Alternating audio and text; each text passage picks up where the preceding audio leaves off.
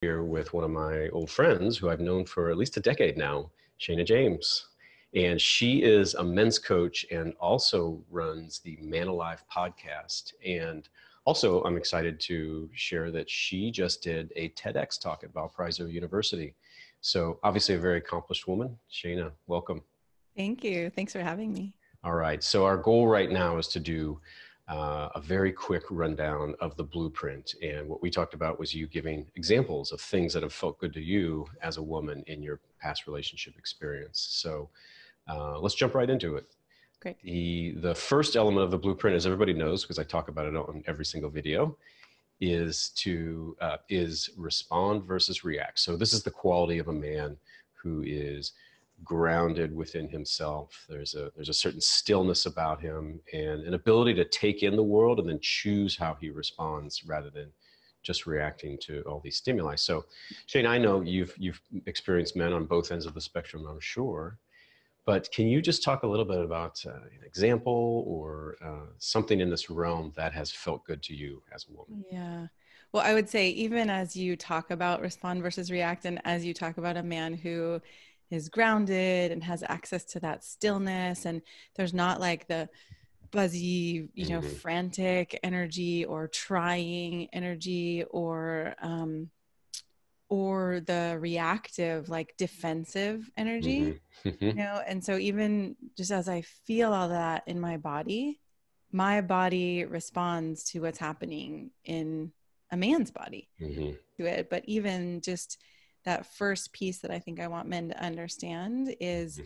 what a relief it is to be a woman who is, you know, on it and working and acting a lot to get to like relax into more of my feminine mm. as a man is in that grounded solid place so if if i could see energy which i know some people can i can't but i can feel it but what i would see is this kind of settling into the lower half of his body mm-hmm. less mind active mind so if i could see it would be like less monkey mind mm-hmm. and more coming into a kind of being in this moment together uh, element of the blueprint so provide structure so this is the quality of the man that has clarity about what he wants and needs he's yeah. decisive um, and that can take the form of him making decisions for the couple. But you know, in today's world where there's much more quality, uh, it probably takes the shape of him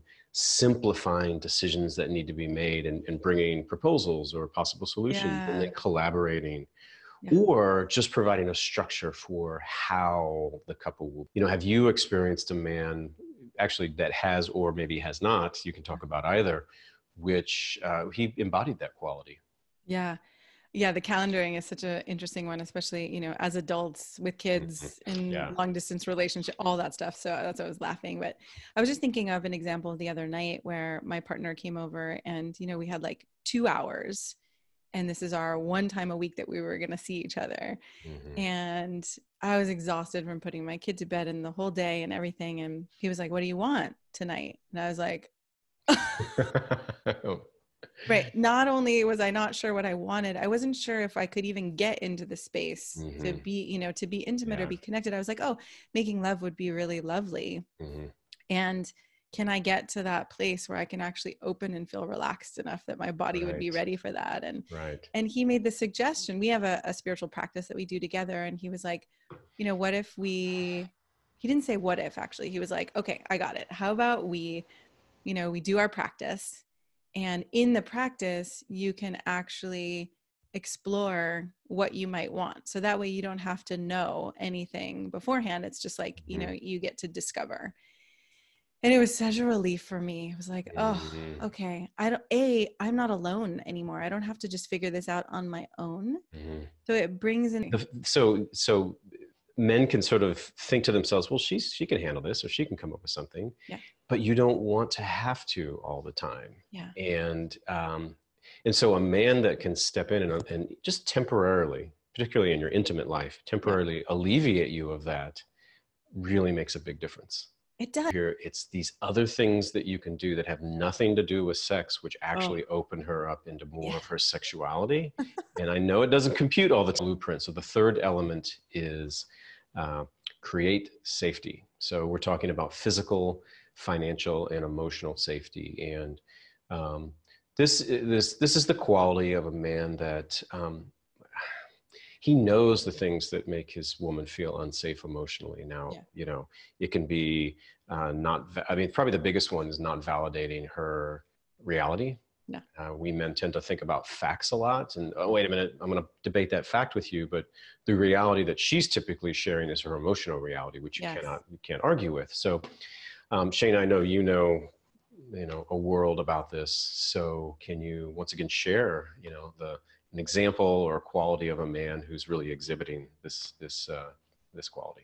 Yeah, I mean, I feel so blessed to be in a partnership where this man is. I mean, he's like no one I've ever met before in the wow. in his capacity to do all these things. And mm-hmm. the thing that came to my mind as you were speaking about this one was in our moments of you know being sensual, being intimate, about to make love, and suddenly I'm like, oh, I feel irritable. you know, I feel frustrated. Like, I want this. You know, there's some part of me that wants this, and there's another part of me that's just like, mm-hmm. and I just remember recently when he was like, oh, awesome. Like, bring it on. Yeah. You know, let just me... welcomed it in. Yeah. He said yeah. something like, you know, the louder, the, the louder or the more messy you are, the more I just love it. Mm-hmm and wow that had know, to feel really validating oh my god it just gave me so much permission to like yeah. growl and grunt and you know and while a man may be listening to this and like i don't know if i want that i will just say yeah. that the the more you welcome that part the more you know pleasure and openness um, that can yes. happen and yes. so that if that's in the way of a woman opening if she's not feeling safe because she's like oh i can't bring this part because he's gonna feel bad or judge me or think i'm weird mm-hmm. or crazy or too mm-hmm. much or any of those things then she's gonna be stuck in a more you know kind of rigid and mm-hmm. less mm-hmm. expressive right experience yeah and this is a great point i want to share with the men listening here is um, you know we all think that we want a woman who's you know sensual and sexy and expressive but the thing is those qualities come from a part of her that is a little wild inside and it does come out in ways that you'll find shocking at times yes. and not yes. know how to deal with but look this is the price of admission man if you want a woman that has all that juice yeah. you have got to learn how to be with the messy side because they really uh, shana please correct me if i'm wrong or saying something completely crazy here but they often come hand in hand that that yeah. kind of woman that has those qualities that, that a man wants also is going to have that little bit chaotic side and it's true yeah yeah and it's not like we have to be abusive with it or um you know unsafe with it but mm-hmm. it's got to come out and come through our bodies somehow otherwise we're held in and more rigid i was actually feeling that the other day i'm like oh right I can feel the way my body starts to tighten, almost like a mm-hmm. corkscrew. Mm-hmm. Uh, that, and you know, I'm working on that again on my own in my own spiritual practice. How I can actually stay softer and more relaxed. Yeah. You know, just as I'm doing everything I'm doing. But one of the things that's been most helpful from a man is when he can even be with that rigidity or that tightness and love me there and accept mm-hmm. me there. That creates incredible safety. Yeah. And what you said uh, speaks to one of the bedrock principles in the book. I mentioned it several times, which is, you know, for the men, stop waiting for her to change on her own. You're actually you can be different and when you're different she'll often be different because you really can affect uh, your your feminine partner's way of being and i think Shana, yeah your stories really have reflected that yeah. that a man's way of being can really help you. He's not he's not the final solution but he can really help you in the moment. Totally totally. Also i've been working with a client the past couple months who you know his wife has been more resistant to doing practices or listening mm-hmm. to podcasts and doing all this mm-hmm. stuff and so but as we've worked with his own reaction and his responsiveness and his ability to slow down and be more present yeah their relationship is radically changing and whereas before there was this distance between them she's now softening and she's you know feeling more that. sexy and they're connecting. It's, it's really beautiful. I love that. I love that story. I wish that for all the men. That's why i wrote the book because yeah. i want men to know what i didn't know and don't make the same mistakes i made um, and hopefully benefit from some of the learnings. Okay let's wrap up this segment. Great. shana thank you so much. This was awesome. Loved having you on. Thank you. Okay